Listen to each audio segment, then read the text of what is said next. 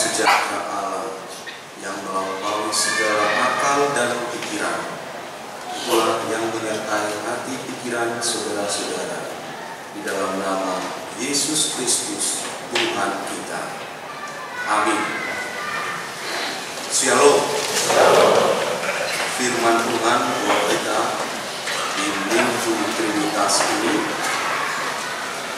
diambil dari Injil Yohanes pasal 16 ayat 12 hingga ayat yang ke-15. Dengarkanlah firman Tuhan. Masih banyak hal yang harus kukatakan kepadamu, tetapi sekarang kamu belum dapat menanggungnya. Tetapi apabila ia datang, yaitu roh kebenaran, ia akan memimpin kamu ke dalam seluruh. Sebab ia tidak akan berkata-kata dari dirinya sendiri, tetapi segala sesuatu yang didengarnya, itulah yang akan dikatakannya, dan ia akan memberitakan kepadamu hal-hal yang akan datang. Ia akan memuliakan aku, sebab ia akan memberitakan kepadamu apa yang telah diterimanya daripadaku. Segala sesuatu yang Bapa punya adalah aku punya, sebab itu aku berkata, ia akan memberitakan kepadamu apa yang diterimanya daripadaku. Demikian firman Tuhan. Saudara-saudara yang dikasihi Tuhan Allah, Yohanes di sini mengatakan bahwa apa yang telah dikatakan oleh Tuhan Allah yaitu Yesus Kristus belum semuanya dan semuanya ketika disampaikan tentu kita dan para murid tidak akan sanggup untuk menanggungnya, mengerti, memahaminya. Yesus hidup di dunia ini di kurang 33 tahun. Dia mengajar bersama para murid lebih kurang tiga setengah tahun. Tentu itu semuanya tidak cukup di dalam memberitakan seluruh rahasia dan apa yang telah diberitakan di perjanjian lama dan seterusnya apa yang akan digenapi.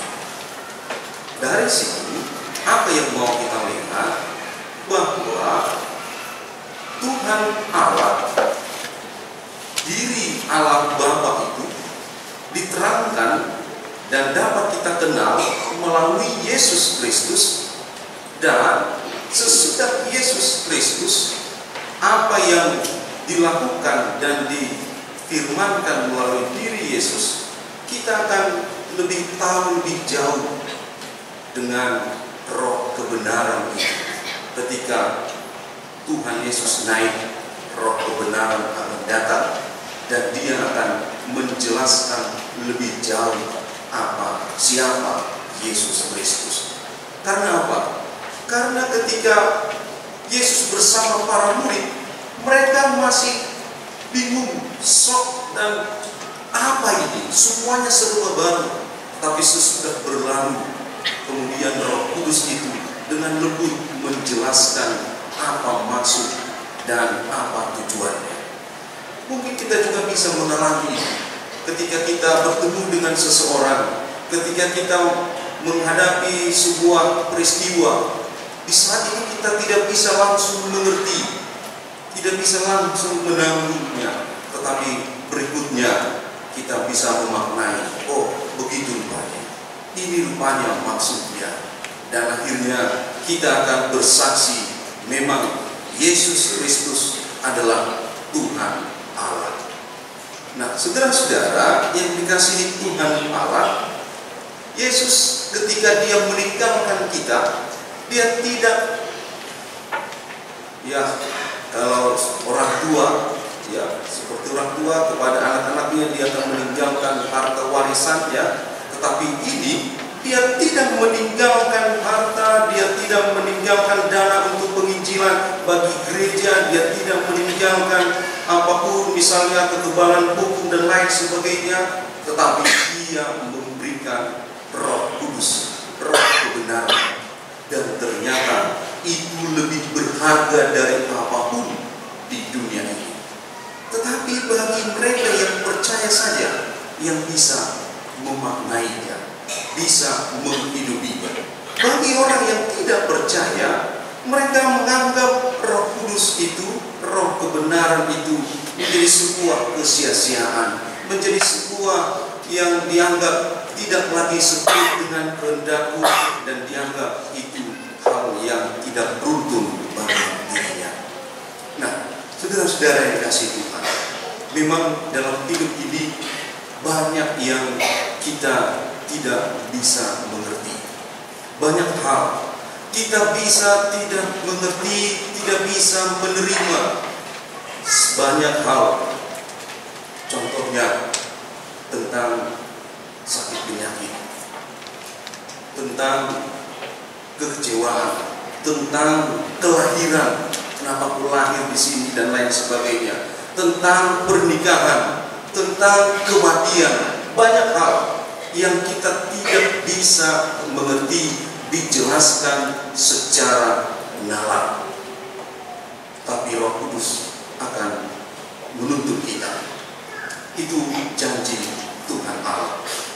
Nah, saudara-saudara, ketika di sebuah pertanyaan ada jemaat yang bertanya, aman manusia itu kan ciptaan Tuhan yang lebih dari ciptaan yang lain dia menjadi ciptaan yang mulia, ciptaan yang kudus dan seterusnya. Tetapi katanya, kenapa masih juga yaitu memang agak menggelitik ada juga sakit penyakit. Kenapa ada juga mereka yang kecewa? Kenapa mereka juga ada seperti ini dan sebagainya dia beberkan begitu. Saudara-saudara, inilah yang memang dalam beberapa hal kita sebagai manusia kalau dengan sendirinya dengan keadaan kita tubuh ini daging ini tanpa adanya roh Tuhan yang masuk kita akan sulit menjelaskannya dengan lebih dalam. Seperti gereja kita misalnya. Gereja kita AKBP Serpong mulai dari tahun lima tahun belakangan ini terus mengumpulkan dana tak henti-henti begitu juga dari beberapa satu tahun ini melalui pesta perak dan tadi malam yaitu layanan burung rembuk menghasilkan lebih kurang 1 miliar 675 juta dan sebagian orang Bagaimana ini? Awalnya ada pesimis.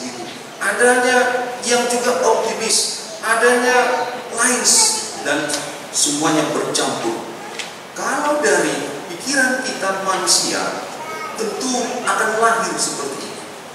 Inilah yang mau diajak oleh Yesus Kristus yaitu biarlah kita dipenuhi oleh roh kebenaran supaya kita dituntun kepada kebenaran kepada kehendak Tuhan Allah. Untuk menjelaskannya ketika ada kelompok hedonis dan juga kelompok pietisme. Ini menjadi dua kelompok yang saling mengagungkan kelompoknya masing-masing. Dan ternyata mereka bisa jatuh kepada jalan si iblis bukan di jalan Tuhan. Secara sederhananya seperti ini namanya. Kita buatlah optimisme dengan pesimisme. Dia di sebelah kiri dan di sebelah kanan. Dan di tengah ini adalah dari jalan Tuhan Allah, yaitu roh kebenaran ini.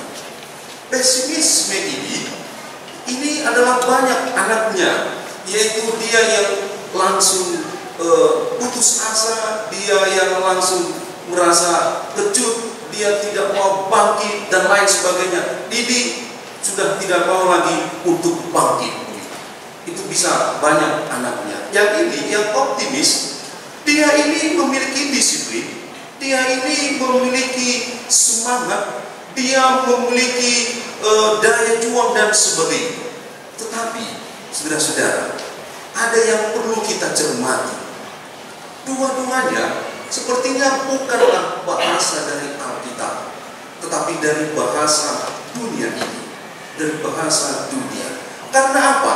Yang pesimis sudah tidak usah kita bincangkan lebih jauh, karena dia akan terus berada di bawah begitu.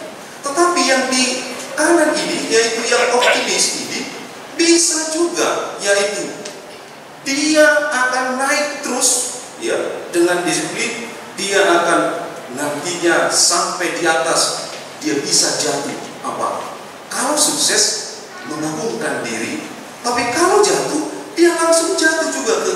pesimis itu dia bisa jatuh ke pesimis dan lain sebagainya ya bisa jatuh kepada ambisius dan seterusnya. Tetapi bahasa Alkitab ini selalu berada di percaya berpengharapan mengandalkan Tuhan dan juga berdoa dan terus-terus mau dituntun di dalam Tuhan ulat dan seterusnya. Karena apa? Kalau itu yang kita gumuli maka kita akan melihat bahwa dua hal ini harus kita gandeng bersama-sama orang yang pesimis kita arahkan dia supaya tetap berpengharapan dan orang yang dioptimis ini terus bagaimana terus dia di jalan Tuhan tidak jatuh kepada yang keinginan dunia. Dan hari ini saya lihat saudara-saudara, gereja kita terus berjalan di jalan orang-orang yang percaya, berpengharapan dan itu terus dibuktikan di gereja kita. Lihatlah begitu banyaknya juga bukan hanya gereja kita, Gereja-gereja tetangga juga datang kepada kita untuk melihat pertumbuhan, untuk melihat namanya apa yang kita lakukan dan juga meminta dukungan doa dan dana. Saudara-saudara yang dikasih Tuhan Allah, itu semuanya bisa terlaksana dan maunya kita yaitu dipenuhi oleh roh kebenaran agar kita dituntun kepada kebenaran.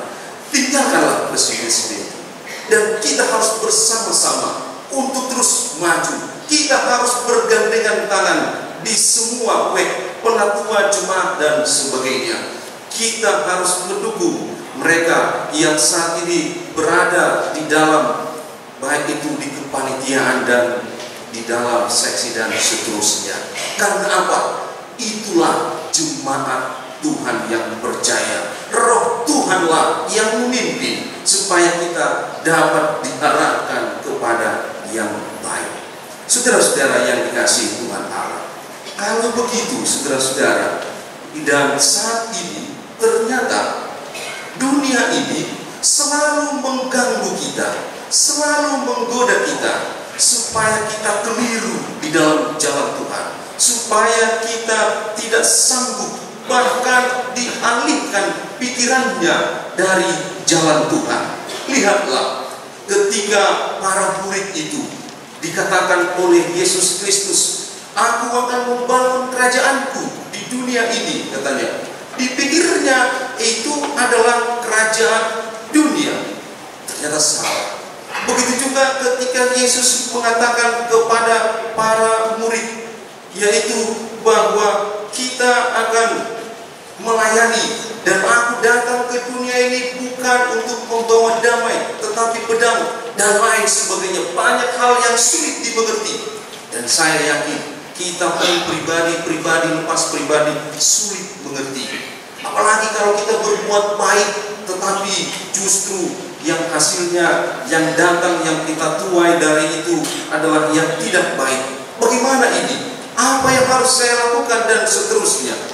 Saudara-saudara, yakinlah roh kebenaran itu akan menuntun kita kepada jalan Tuhan. Saudara-saudara, ini mungkin sudah pernah memang Inak dengarkan. Tetapi sepanjang kita berada di jalan Tuhan, dipimpin oleh Roh Kudus, apa yang kita cita-citakan bisa jadi tidak seturut dengan kehendak kita, tetapi tibalah dia nanti di dalam Tuhan. Semuanya akan kita lihat. Wah ini rupanya maksud Tuhan itu. Ini rupanya yang diinginkan Tuhan saya ulang lagi. Ada karya novelis itu ya yang menceritakan tiga pohon di Israel sana. Satu pohon yang sudah tinggi satu pohon yang sedang satu pohon yang kecil. Mereka bercerita. Ketika mereka bercerita, yang pohon besar bercita-cita, aku mau untuk menjadi, yaitu rumah supaya aku bisa melindungi keluarga-keluarga. Karena waktu itu pengalamanku datang anak-anak bermain di bawah bapak ibu mereka begitu bahagia. Itu cita-citanya. Kemudian yang kedua bercita-cita kalau aku mau keliling dunia, karena aku mau dijadikan kapal yang besar. Itu cita-citanya. Yang kecil, aku mau tinggi besar di tempat ini supaya aku bisa jauh ke bawah melihat dan orang melihat aku karena aku mau terkenal. Dan nanti pun kalau aku dibawa ke kampung, biarlah aku tinggi besar juga dilihat orang supaya aku terkenal. Tibalah datang orang kampung, dibawalah kayu apa ya, kampaknya dan diteballah pohon yang besar dibawa ke perkampungan. Setelah dibawa ke perkampungan, dipikir dia akan dijadikan rumah. Tetapi justru tidak. Dia hanya dijadikan kandang yang indah. Kandang tempat hewan, ternak, kambing, domba, dan seterusnya. Wah, dia mulai kecewa. Tuhan, bagaimana ini? Saya sudah begini dan sebagainya. Tapi saudara-saudara, suatu hari datang sebuah keluarga ketika masuk kemudian di situ si ibu itu melahirkan dan setelah mereka datang gembala dan datang orang majus maka kayu itu bertanya loh siapa ini gerangan yang lahir ini kenapa dia begitu istimewanya kemudian akhirnya dia tahu oh dia ternyata Mesias itu dan aku begitu bahagianya karena aku dijadikan tempat-tempat dia Mesias itu lahir. Dia akhirnya baru mengerti sesudah semuanya berlangsung. Kemudian pohon yang kedua ditebang juga, dibawa ke air. Wah, aku akan dijadikan kapal besar. Aku akan keliling seperti itu. Keliling benua, keliling negara. Ternyata justru sebaliknya. Hanya jadi perahu kecil. Dan yang naik pun orang-orang kecil nelayan bahkan juga hanya sekitar-sekitar itu saja dia mulai kecewa apa ini kenapa begini seterusnya tapi suatu ketika ada seorang pria yang pemuda kemudian dia berdiri di atas perahu itu dan dia mulai berkhotbah dan dia mengatakan kepada si Petrus itu tebarkan jalamu dan dia melihat ikan yang luar biasa memenuhi kapal itu dan dari situ pun dia berkhotbah banyak orang mendengar. Hei siapa ini yang berdiri di atasku ini? Ternyata dialah juga Mesias itu. Dan dia begitu bahagianya. Ternyata aku dipakai Tuhan, dipilih Tuhan untuk tempat berdiri dia berkhotbah. Dan yang pohon yang ketiga, dia sudah besar, sudah tinggi, dan dia sudah melihat ke bawah dan orang banyak sudah melihat juga. Saudara-saudara, orang kampung pun datang ditebang dan kemudian dibawa ke kampung dan dipikirnya dia akan dibawa tinggi seperti itu ternyata justru dia dimasukkan ke lorong yang gelap. Setelah dimasukkan ke lorong yang gelap dia kecewa. Tuhan kenapa aku jadi justru tidak dilihat orang? Gelap. Tapi suatu hari dia dikeluarkan. Dan ada orang yang mengangkat dia. Dan banyak orang yang mengikuti. Hei ada apa ini? Kenapa aku diangkat? Dan begitu banyak orang mengikuti? Bahkan justru di atas bukit, itulah bukit Golgata itu dan ada dipakukan dan semua orang melihat siapa ini yang terpancang di atas ini. Ternyata dia baru tahu dialah Mesias itu. Saudara-saudara yang dikasih Tuhan, ini mungkin juga bisa kita alami pribadi lepas pribadi. Apa itu? Yaitu dalam hidup ini kadang kita sulit mengerti, bahkan kita mungkin sudah berikan yang terbaik, tetapi bisa jadi tidak yang terbaik. Tapi saudara-saudara, sepanjang kita buat yang terbaik bagi Tuhan, dia jauh lebih tahu membalas apa yang kita lakukan. Dia lebih tahu melihat apa yang kita butuhkan. Dia lebih tahu segalanya. Roh kebenaran itu akan menuntun kita. Nah, saudara-saudara, kita sering kali apa yang kita lakukan ketika terjadi yang tidak seturut dengan keinginan kita. Paling tidak kalau anak-anak Tuhan langsung bilang yang pertama, Nats Marguru Maluana di Berima, ayo percayalah kepada Tuhan dan jangan bersandar kepada pengertianmu sendiri. Begitu kira-kira ya. Kemudian, ah, kayaknya aku selalu seperti ini tapi nilaiku jelek dan lain sebagainya. Atau Amang Inang langsung lihat juga nats pernikahannya. Wah, Victor disulekiti dirina. Aina semua doa, aina salah dapat ditembak baik nasu dan akal dan asing. Semuanya dicoba dipertanyakan, saudara-saudara. Memang baik untuk mempertanyakan dan membingungkan. Tapi saudara-saudara, hari ini teruslah berada di jalan di tengah itu. Bukan di pesimis dan optimis. Berpengharapanlah, berdoalah, andalkanlah Tuhan dan membaca firman Tuhan menjadi tuntunan dan yang lebih lagi roh Tuhan itu ada dalam hati kita. Teruslah dengar dia lewat persekutuanmu yang intim supaya dia menunjukkan jangan-jangan selama ini kita tidak mau mendengarkan suara Tuhan yang terus mengingatkan kita. Hei kau jangan lakukan itu tapi kita abaikan. Hei kau jangan berjalan di situ. Justru kita abaikan ketika itu kita lakukan terus maka kita akan semakin jauh dari Tuhan dan dari sini dikatakan di ayat 14, ia akan memuliakan aku dan sebab ia akan memberitakan kepadamu apa yang diterimanya daripadaku. Artinya dimuliakan. Ketika kita dekat dengan Tuhan, di situ kemuliaan Tuhan ada. Lihatlah ketika Adam dan Hawa di Taman Firdaus. Kemuliaan Tuhan juga memenuhi mereka. Tetapi ketika mereka jatuh dalam dosa, mereka dikeluarkan dari taman Firdaus, mereka jauh lagi dari kemuliaan itu. Lihatlah ketika Yesus di atas gunung, kemudian datang yaitu Elia dan Musa. Dia dimuliakan, ada cahaya dan wajahnya bercahaya. Lihat juga Musa ketika di Bukit Sion bersama dengan Tuhan, mukanya bercahaya.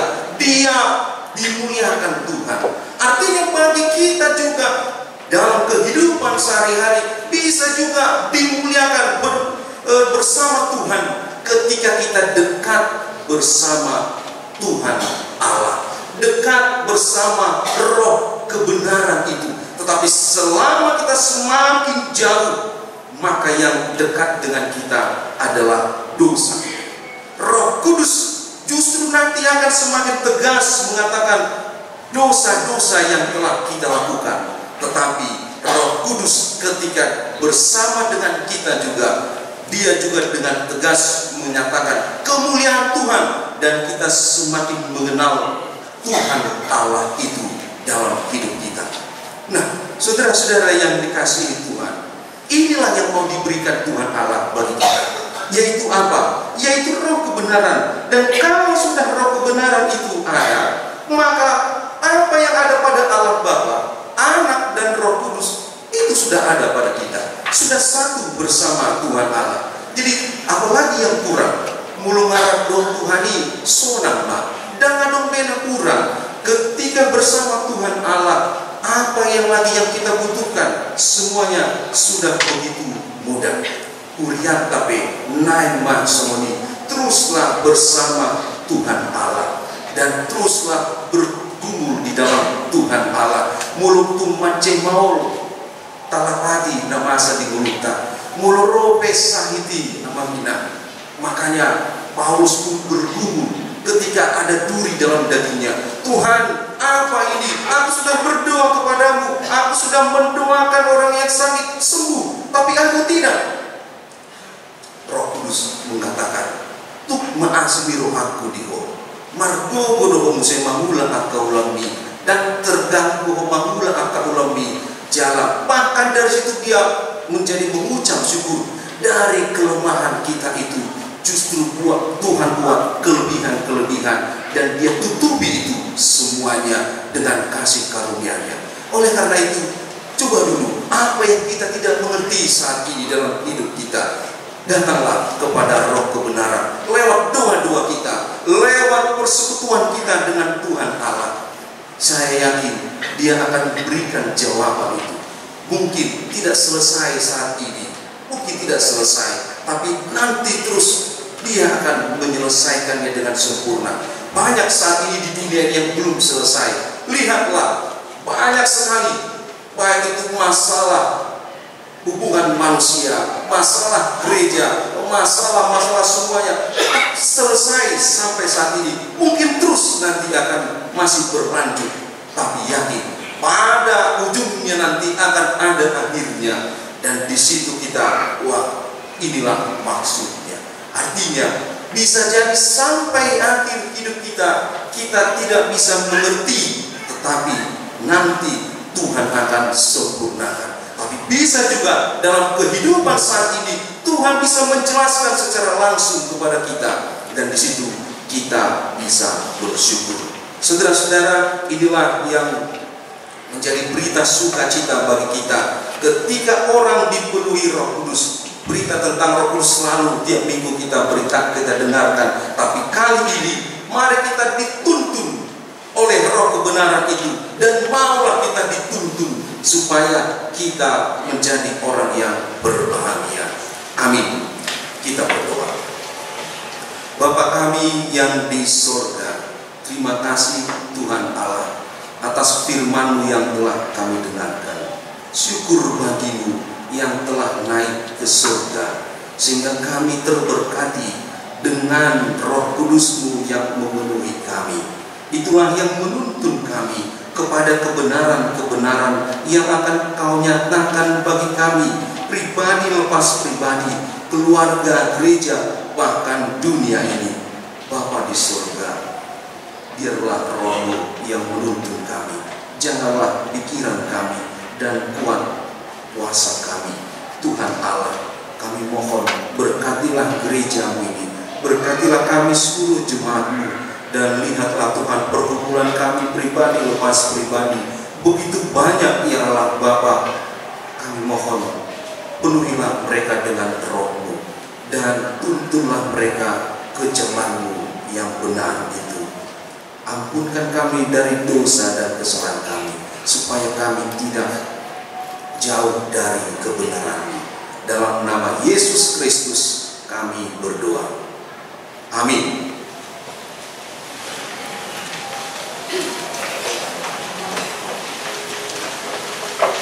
Kita bernyanyi dari PKJ 264 ayat 1 dan